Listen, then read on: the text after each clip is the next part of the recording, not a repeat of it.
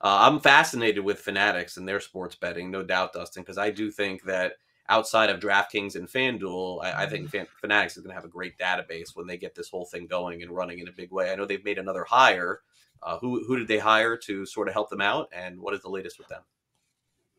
Yeah, I mean the big news here is uh, you know there's more of the macro of what's going on. Fanatics they're hiring like infinity people for a sports book that isn't live yet. So we have we've hit drips and drabs. You know we've reported like there's been reports, including by us, about how they're getting into the sports betting market. You know they have some market access, but we don't know what Fanatics Sportsbook is going to look like. But they you know they have hired some people here lately. Uh, to, to get to really take this up, uh, somebody from FanDuel is uh, again heading up their retail operations. Uh, again, we don't know where Fanatics is going to have a have a retail sports book, but they just hired somebody to be their vice president of retail operations. So mm. that means we're going to see some Fanatics sports books somewhere, uh, one way or another. Uh, we don't where and when, don't know. Um, but yeah, they, they you look at their job listings on the site, dozens and dozens of jobs for both online casino and sports betting um, with you know, and we're we're still just kind of we're guessing at what their plans are, where they're going to be in the market. You know, they're hiring a, a lot of smart people from both FanDuel and DraftKings. Uh, not maybe not a lot, but the, the, some some people I I've known in the industry who are, are getting into this. So you know, this is this you know we're getting serious, and it mean, like I'd, I'd say this means we're getting a lot closer to to a launch, even though like they have to hire all these people. But that like we're we got to be seeing Fanatics Sportsbook sometime, whether that's they acquire a platform or they're they're they've been building this on their own and they're really scaling it up right now. I don't know, but I'm with you. Like it's the, the database of Fanatics is super interesting. Tens of millions of users who buy who are engaged in sports, you know, buy buy clothing from them or whatever else.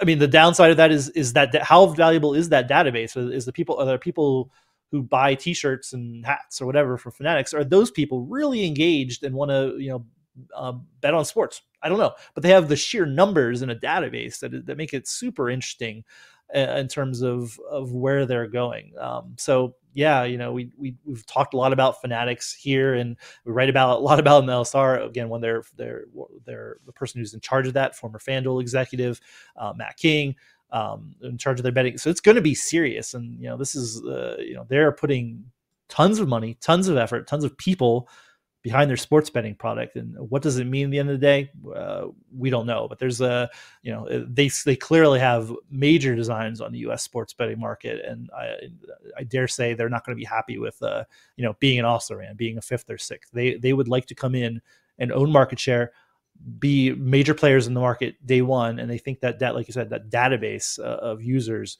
is what gets them there right away. Yeah, no, obviously they have so many people who buy gear from them and, and memorabilia and things of that nature. Do you think that they're waiting for California and Florida? Is that is that where they want to start? Like, do they? I mean, they, they could definitely make a big impact in New York and New Jersey and some of these other states, but is it possible? And I'm just speculating that they're waiting yeah. for one of the bigger, the next bigger states to be the the company in that state. I mean, is that a possibility? Yeah, I mean, it's the only reason why I can't yeah. figure out why they're not live. Yeah, yeah. I mean, they wanted to be in New York. Again, it's I think it's more product and the delivery of the actual Fanatic Sportsbook. Like mm-hmm. they, they are, again, we, we don't know. We don't have a whole lot of insight whether they think they're just buying something or they it, it kind of read tea leaves. Maybe they're just developing something already on their own, and that's what's that's what we're going to see. But yeah, mm-hmm. they they they were in the bidding process for New York, even though they again they didn't have a product. Um, you know they could get in New Jersey they wanted to. They have put a lot of money behind this California sports betting effort that we talk a lot about.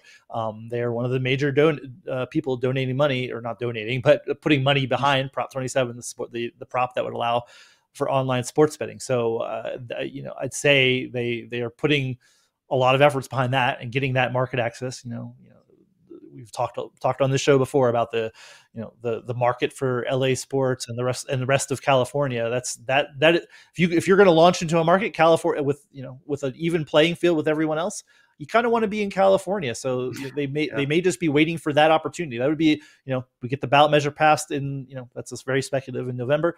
Maybe Fanatics launches into California and they they announce their arrival that way. Uh, you know otherwise yeah they're they're going into markets that are already established um, or, or, or, relatively small necessarily. Um, there's market access certainly in, in, in several big states, but no done deal that they could get into other states right today. But yeah, it could be California. Florida is is further off, probably. Texas, I would imagine they're they're going to be they could be in on the ground floor as well.